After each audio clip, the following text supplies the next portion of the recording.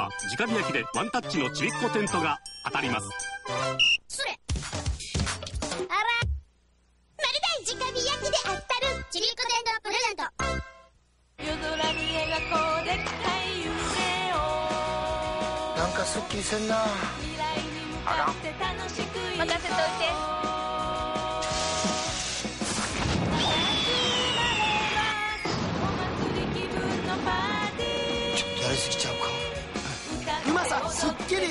り関西風生ビール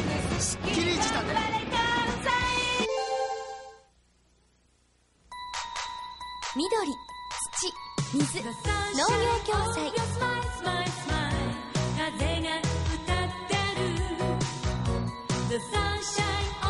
応援します。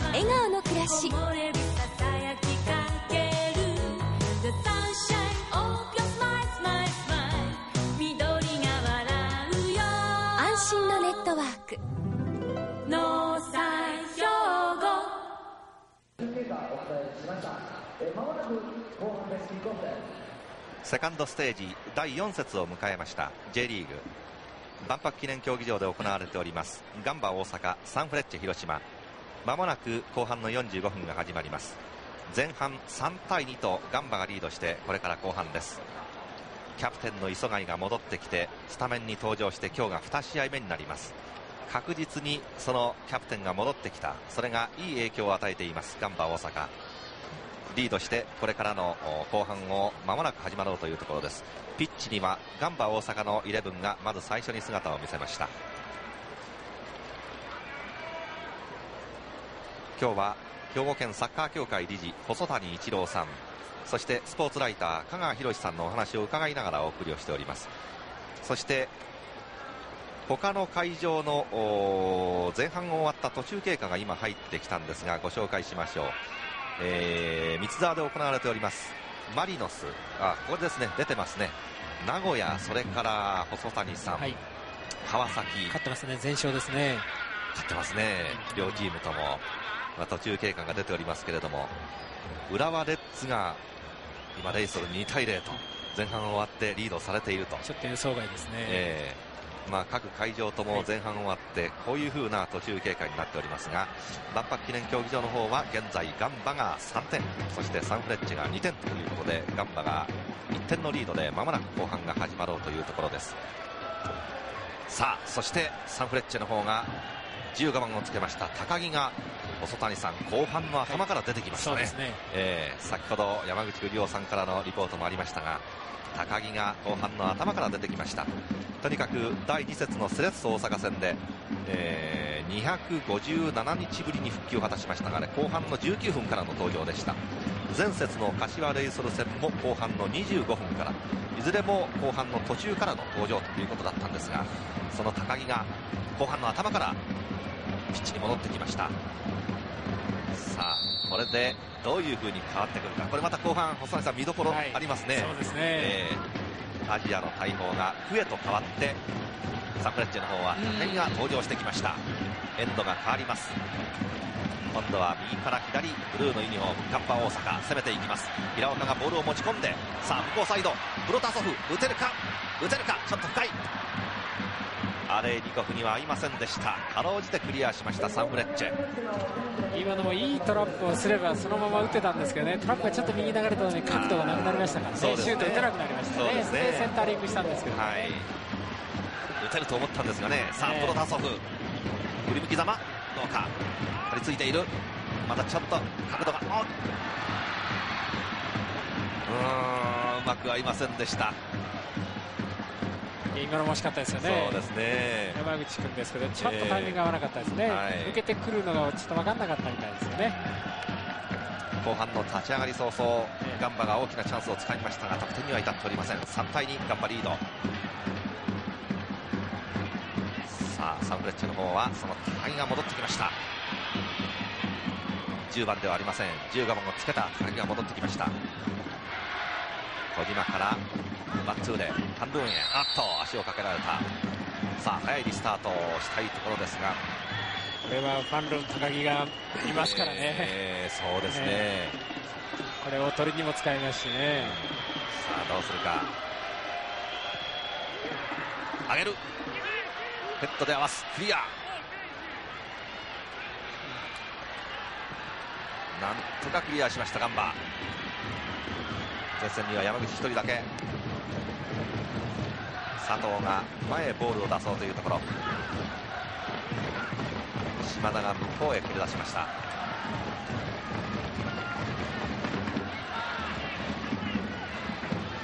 何かこう10番でないとちょっと違和感を感じます。高木ですがしかし戻ってきました。昨年のあのベルディ川崎とのチャンピオンシップ。左のアキレス腱断裂という大怪我を負いました。1月にスウェーデンへリハビリに行きました。水中歩行松葉勢のトレーニングなどを行いました。3月に帰ってきてようやくこう普通歩行までできるように回復になってきて257日ぶり第2節。セレッソ戦での J リーグにカムバックしてまいりました。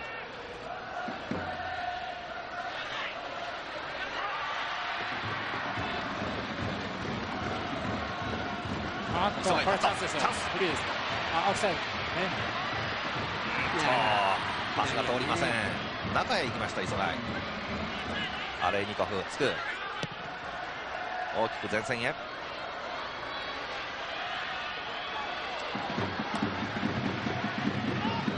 さあ武井が中央へ走っていく。そこへつなぐとフリーになった。シュートを打つ。今そうですね。ドキッとするようなシーンがガンバサイドにはありましたが。一瞬フリーになりましたからね、ええうまく高木にあったんですがゴールはなりませんでした。ここです。これです。さあしかし後半最初のコーナーキックを迎えました。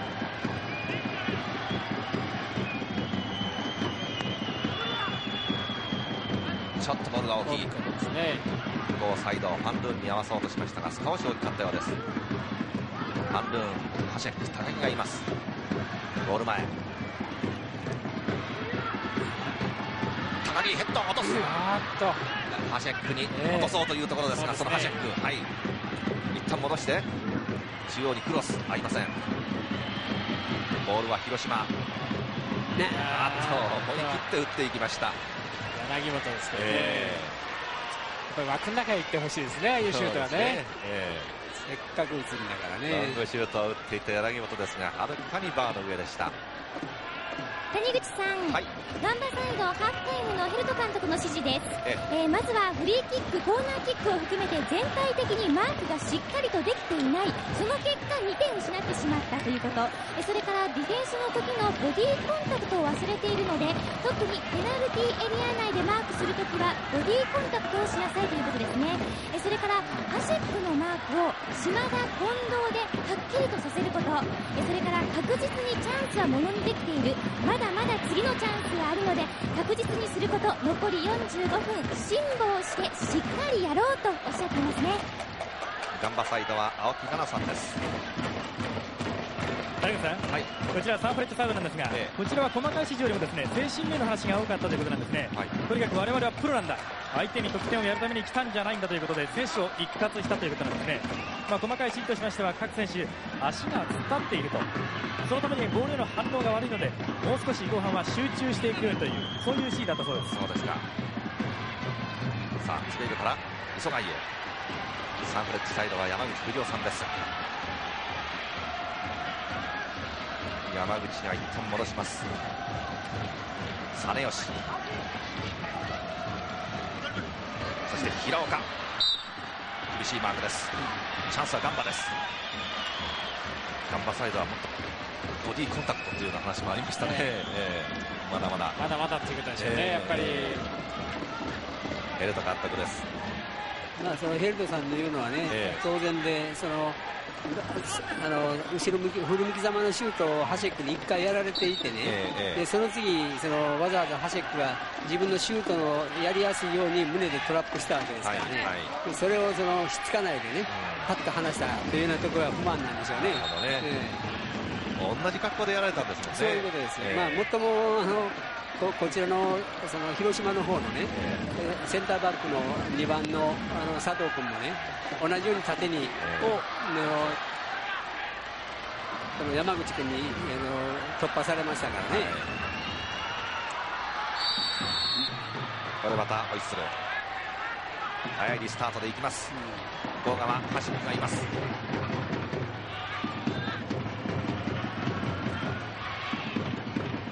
ハンドゥーンへ93センチ。ち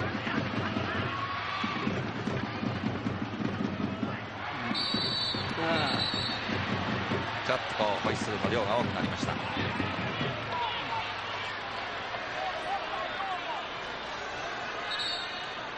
ンドゥーンが倒されて。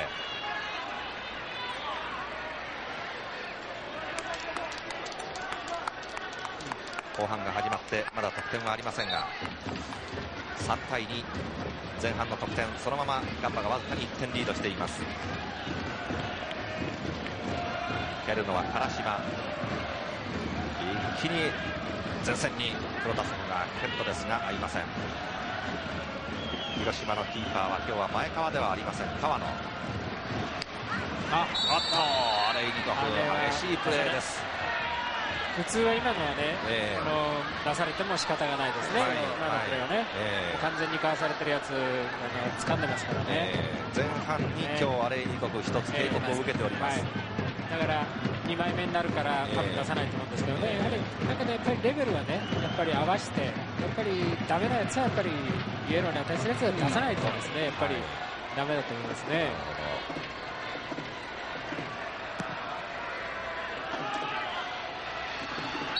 本並直接取りました、いいですよね、今ぐらい思い切ってね、ええあの相手大きいですけどね、えーえーキーパーはあのぐらいやっぱり勇気持って高いボールには出ていくと。いうこと必要ですよね。ガンバの方はここまでの戦い。ジェフ市原柏レイソル名古屋。いずれも勝ち星はありません。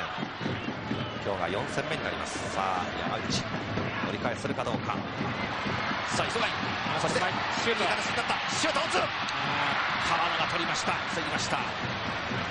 ゴールポストいっぱいかというようなシュートでしたがキーパーの川野が取っています。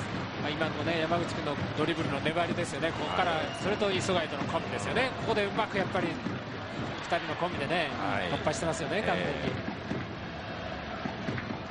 長身ファンルーンそして高木後半の頭から登場している一旦戻す小島。クロスボールワンツーで。高木に合いません。さあ磯貝です。一気に縦に山口。ちょっと攻め上がります。もう一遍山口。今日はね、え山山口君とね、ええ。それから相手の2番のね、ええ。マークしてるセンターバックとのね、えこの力の比重がね、山口君は楽なんですよ。はい。だから、おうまい。今度は持ち込んで入った、あれで打ったのがわずかに大きかったか。クロスバーの上を越えていきました今のは入れないとですね、近藤君の素晴らしいね、右サイドの突破だったんですけどね、センタリングも申し分ないボールだったですね。ここの個人技はすごかったですよ。深く深く返しましたからね。もうしんのない形。腰が沈んじゃったね、もうちょっと上から叩かないと。えークロスでね、ねやっぱりやっぱりね、後半になってくると、アレニコフは少し体のキレがね、落ちてきますよね。はい。だからさっきのファウルなんかでもそうですけどね。そうですか、うん。さあまた。磯貝、磯貝にはつながらない。さあガンバまたチャンスを迎えましたまあやっぱり山口、磯貝のコンビがね、あの2人、気がもともと合うんで、はい。プレー以外でもですね、ええプライベートでもすごい仲良しですからね、ええ非常にやっぱりコンタクトいいですよね。そうですね。さあこのチャンスを生かしたいところです。カラシも曲がっています。中央に山口手前に黒田ソフその山口がおっと河原がパンチング。まだチャンスそのまま打つ。こぼれ球。しかしボールは広島さあ、ファーンが走る。ガンバの帰りが遅い。かろうじて向こう側のタッチです。3人の試合変わりましたね、今ね。3対2になってますよそうですね。ね。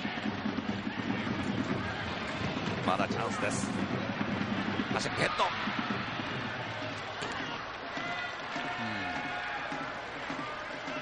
高木が頭から入ったことで細谷さん、はいい。かがですか、広島サイドとしては。そうですね、あの攻撃という面ではね、えあの2枚トップ出てきましたからね、はい。これ、迫力あるんですけどね、え逆にそのそればっかりあまり考えるとですね、ええ。単調になってしまいますのでね。谷口さん、はい。その高木選手なんですがね、えこのスタメンの出場は高木本人に任されているということなんですね。ですから本人が納得したところで頭からいくということなんですが、今のところまだフル出場の自信がないということで先発では出たくないということなんですね。はい。それで今日後半でいい活躍をした場合には、ええ。この吹っ切れて、次のレッド戦でスタメンでいけるんじゃないかと、そんなことを言ってました。ああそうですか。あのファンドゥーン自身もこの間のミニゲームで左のアキレス腱がちょっとこう痛いということで安全ではないというような話も聞いております。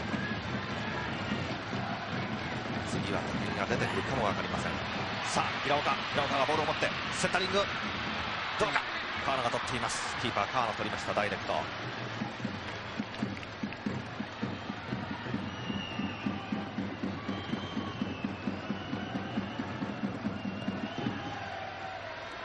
半はまだ両チーム得点はありません。3対2ガンバ1点のリード。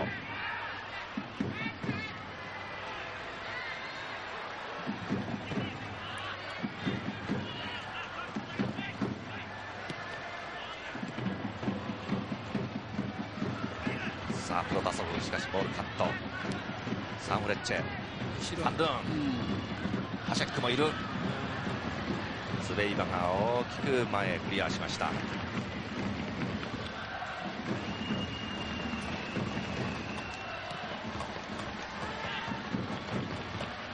またファンドゥーンへ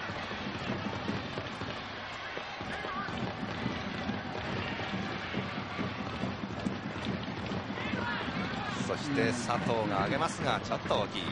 そうですね、こういう後ろから、後ろからではね、ちょっとダメですからね、もうちょっとボールやっぱりつないで。横からですね。ええ。サイドをえぐるというような形ですかね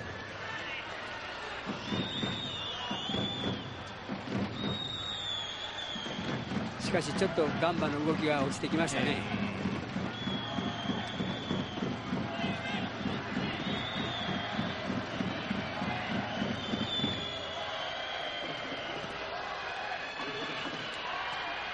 ガギヘッド。そして実吉がヘッドでクリアまだチャンス。ボールが浮いている。打てるか？シュートを打ちましたがはるかに左側です。上村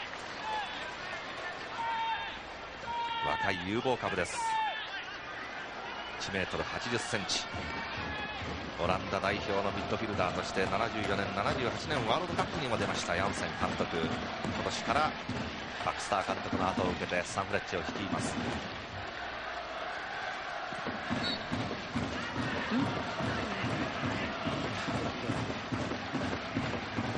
さあ急がいです。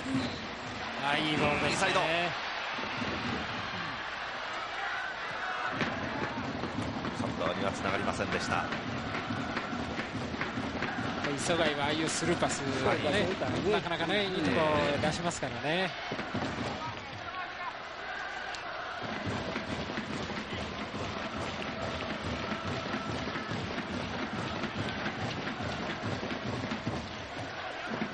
山口から一旦戻して。さあ中央へ。ちょっと大きいか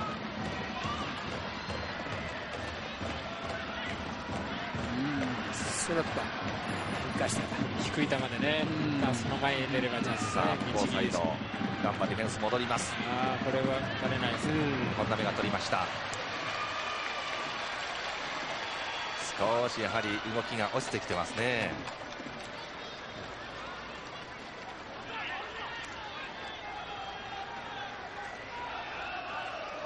前半の10後半の16分を回っています。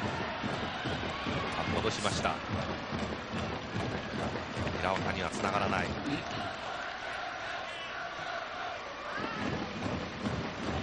サンフレッチェの方は清水セレッソに勝って前節は柏レイソに敗れました。2勝1敗で今日の第4節を迎えています。サントリーシリーズでは10位という、まあ、過去最低のサンフレッチェでした。一方のガンバの方もサントリーシリーズは11位低迷しました。さあプロタソフが上げますがネットです。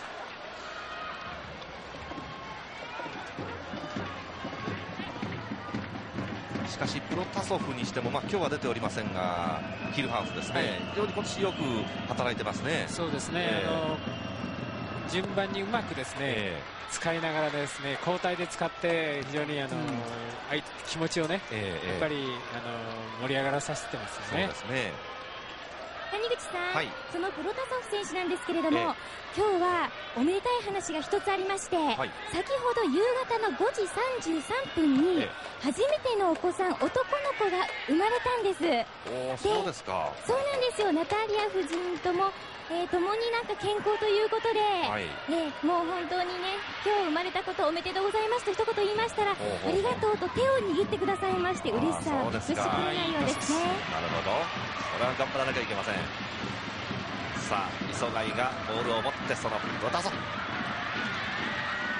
り返し折り返す。るかどうかチャンスになる落ち着いてヘッドでクリアかまだチャンスがある一方の広島の方も今日はのジュニュン選手が同じように、まあ、お子さんが生まれたということで国に帰っているようですが。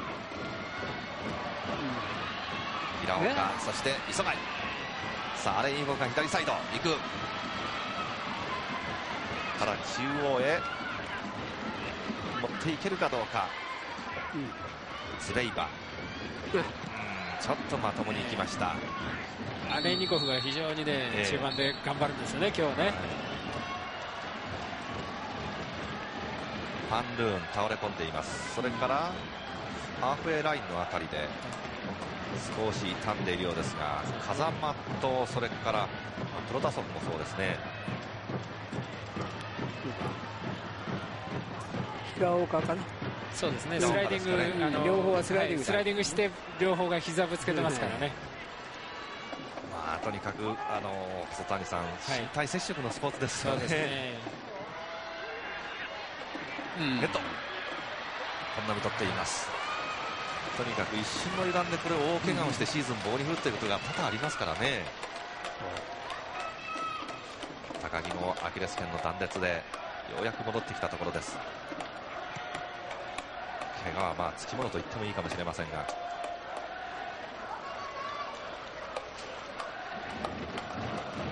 た一方で怪我に強いっていうのも一つのプロとしての条件でしょうねそうですね。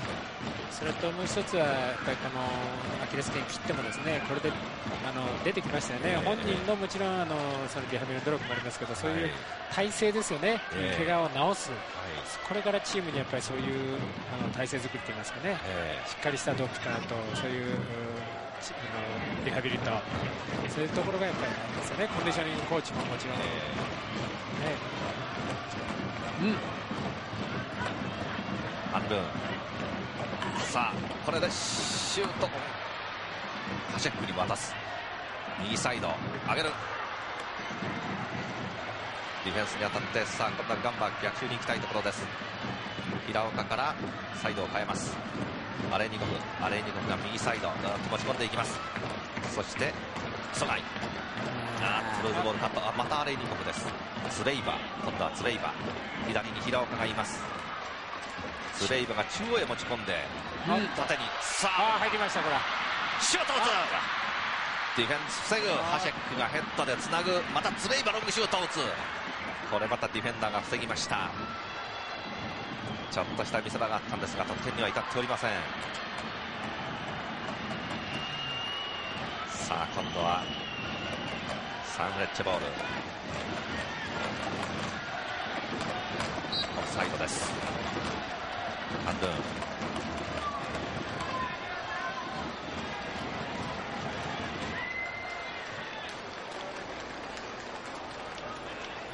頑張りしてみたらね、あの、ええ。今のもチチャンスですよね。えもうい磯貝からね、本当に非常にうまかったですけどね、はい。今。シュート打つと見せてね。えちょっと山口は大事にしすぎたね。ねしすぎましたね。うん。もうすぐ叩きゃよかったね。えーサネヨシとファンルーンの競り合い、さあ高木が行く。手前タッチを割っています。後半の20分を過ぎています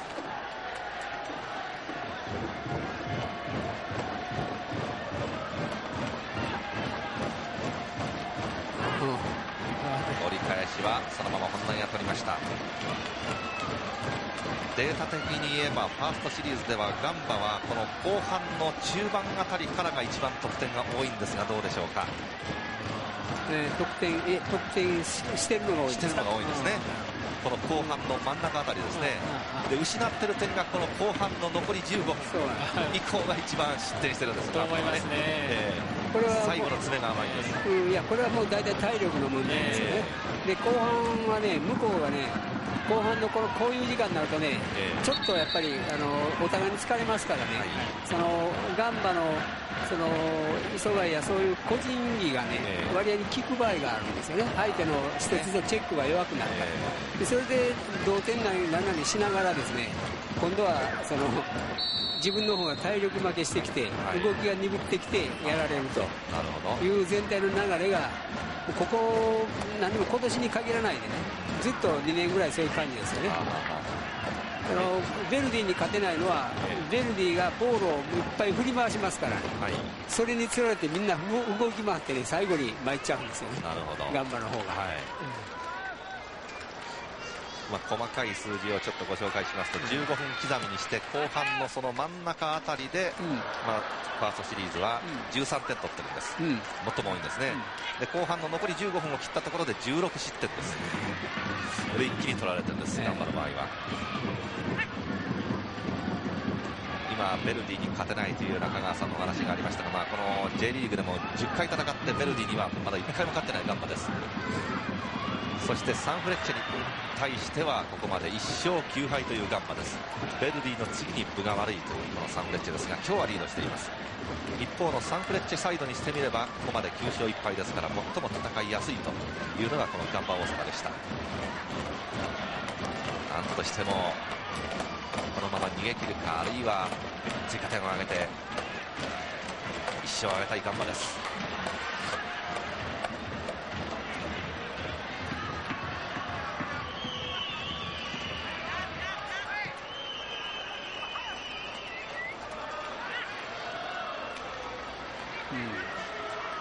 こういう一歩ずつ動きがね、あのサンフレッチェの拾い方が速くなってきますよね。佐藤がクロス。これまた拾われますからね。そうですね、ルーズボールはずっとサンフレッチェ。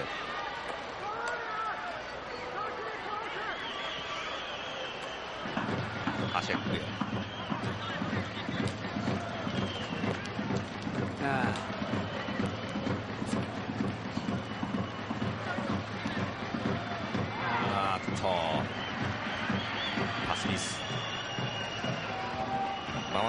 後半の25分になります。3対21点リードガンバ。